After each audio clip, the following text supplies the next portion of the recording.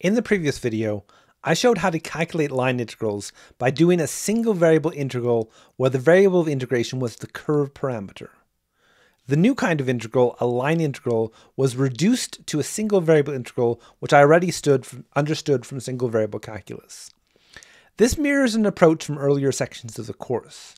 For integration over 2, 3, and higher dimensional regions, the method of calculation was iterated integrals, which again reduced the problem to a series of understood single variable integrals. Reduction to single variable integrals is an excellent strategy. It means that I don't have to invent entirely new techniques and methods for multiple integrals. I can instead rely on all the previous knowledge I already have for an integral. It is also very typical for mathematics.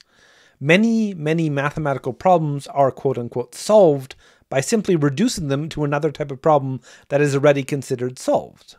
However, as good as these reductions were, they miss something important. To understand what they are missing, let me return to the fundamental theorem of calculus. To remind you of one of the formulations of the fundamental theorem, let f be a differentiable function. The fundamental theorem says that integrating a derivative is the same as evaluating the original function on the endpoints of the interval. Let me rephrase that slightly, evaluating on the boundary of the interval. I haven't really talked about fundamental theorems in this course, but that's about to change. The core idea of the fundamental theorem will now return in full force. And to get there, let me look again at what the fundamental theorem does. I want to make an archetype out of the fundamental theorem. To that end, I'm going to boil down the idea to this basic one.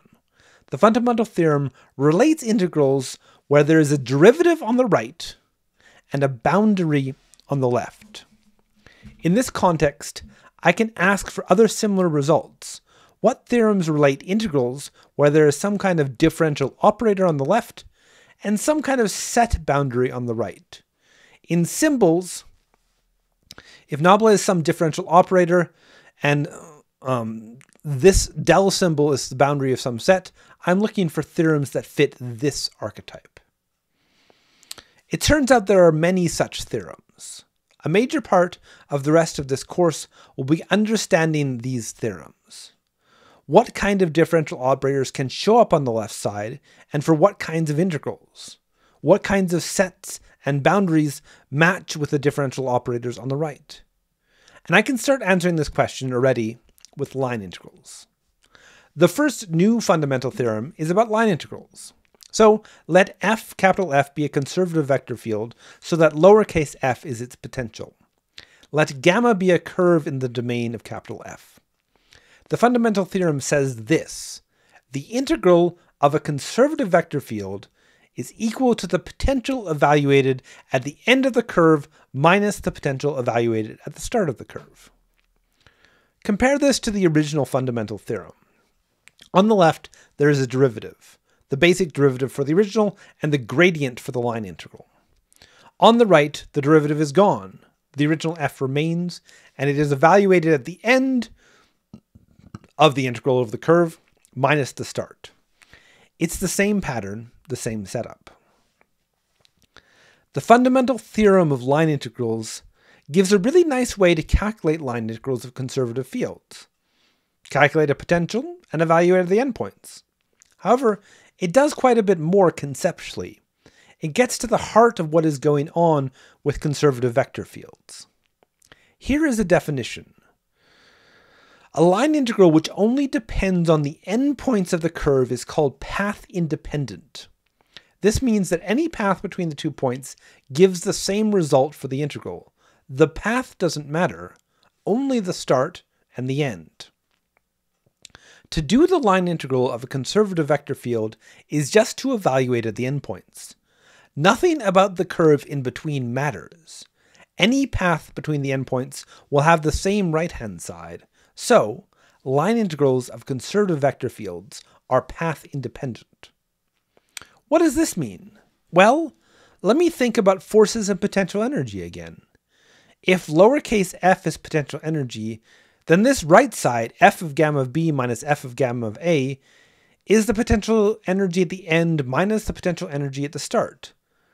This difference is the change in potential energy.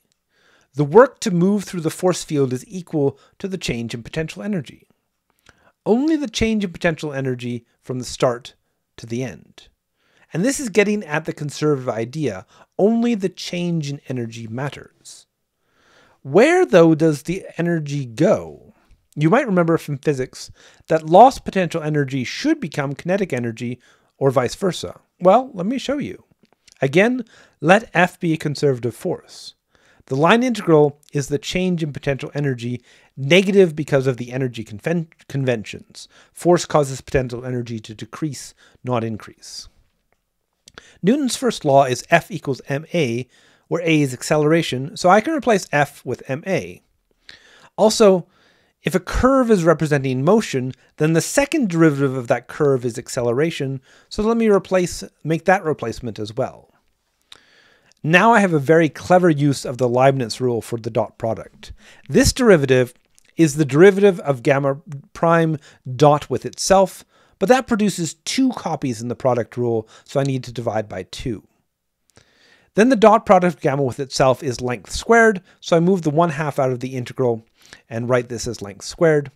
Then this is the integral of a derivative in a normal single variable way, so I remove these two and evaluate at the endpoints. The length of the tangent of the curve is scalar velocity. What I get out of this evaluation is m times the final velocity squared over 2 minus m times the initial velocity squared over 2. These are kinetic energy terms, and this is the change in kinetic energy. The result of the calculation is that the loss in potential energy is exactly the gain in kinetic energy. And this can finally explain the conservative field name. These fields conserve energy. This conservation of energy setup used to be something very specific to gravity and electromagnetic forces, but now any conservative vector field works this way. For any conservative field, the line integrals are given by the changes in the potential, and I can calculate that the negative of the potential change will always be a kinetic energy change. Energy is conserved because of the fundamental theorem of line integrals, because of path independence, because the fourth force comes from a potential as a gradient. Let me finish with some finer details of these properties of conservative vector fields. Conservative vector fields are path independent, but is the converse true? Well, like with gradients and curls, I need a condition. If a field is path independent on a path connected open set, that topology definition I did earlier this week, then it is conservative. So, so conservative and path independence are almost exactly equivalent. They are equivalent as long as the domain is a single piece, a path connected set. So let me recap. Assume that I am working over a path-connected and simply connected set. Then the following statements are all equivalent. F is conservative, that is, by definition, it is the gradient of a potential. That means that all integrals of F are path independent, only the start and the end. end. The change in energy matters. And this is equivalent to the line integral of F being zero over any closed path. If the start and the end is the same, then the potential energy is the same and no net effect has been accomplished. And finally, this is equivalent to the field being irrotational. On this path connected, simply connected set, I can use the curl to check if the field is conservative.